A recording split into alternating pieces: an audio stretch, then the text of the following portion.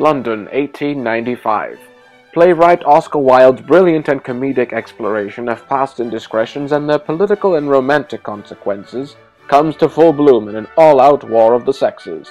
When Sir Robert and his inflexible wife Lady Chiltern host a dinner party, an old schoolgirl enemy of the hostess, Mrs. Cheveley, tries to blackmail Sir Robert for secret dealings at the start of his career.